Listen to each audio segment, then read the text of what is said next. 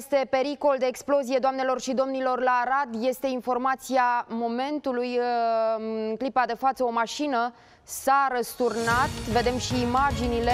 Șoferul care conducea autoturismul acesta, din primele informații, ar fi fost băut și a lovit o conductă de gaze care s-a fisurat. Daciana Cordoș, colega mea, vine cu mai multe date. Daciana, cât de mare este pericolul de explozie acolo? Ce spun cei care au ajuns la fața locului? Uh, bună ziua! Totul este sub control pentru că pompierii au asigurat zona, iar uh, cei de la Societatea de Gaze au început deja lucrările.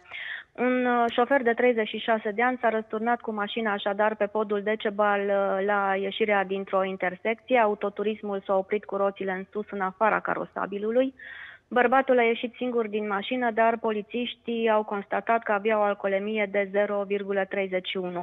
El are acum permisul suspendat uh, pe 3 luni. Accidentul, cum ai spus și tu, a avut uh, și alte urmări. Conducta de gaze de pe marginea drumului a fost fisurată în mai multe locuri. Ea alimentează restaurantele din incinta strandului Neptun, iar oamenii sunt disperați pentru că au nunți în weekend, iar uh, conducta trebuie schimbată cu totul și asta va dura.